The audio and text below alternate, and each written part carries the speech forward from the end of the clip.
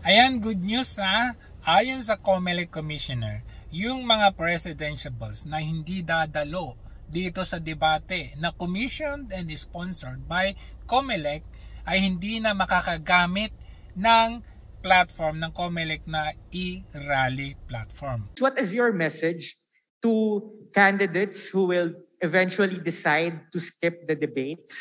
We we do have uh, an, uh, the e-rally that that we allow them to to use the platform. And um, one of one of the agreements is that if they if they skip the debates, then they will not be able to air their e-rallies on our e-rally platform. Ano nga ba ito? Alamin natin. Election day is fast approaching. Who are you voting for? How well do you know the presidentiables, vice presidentiables, senatoriables, and others running for national elective positions? Learn more about them via the Campaign Safe Comelec e-Rally channel. The Campaign Safe Comelec e-Rally channel is a platform for free live streaming of e-rallies of national candidates.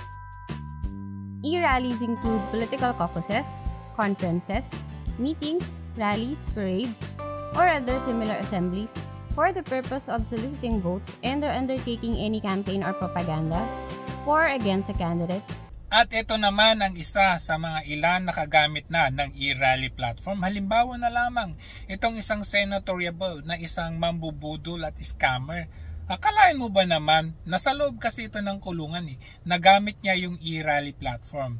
Ang pinagtataka ko nga lang, bakit kahit na nasa kulungan o may record ng kaso, bakit pinapayagan pa ang mga to? Our economic status has been deeply receded This is the time to reassess and rise up to bring our country back to a new norm. Poverty and equality remain the problem of many Filipinos of today. I am here to share my heart. Well, alam na natin, wala din naman siyang pakialam kung gagamit siya o hindi ng e-rally platform, di ba? Kasi yung mindset nila, panalo na sila whether dadalo sila ng debate, forum or, or whatsoever kasi ang alam nila panalo na sila.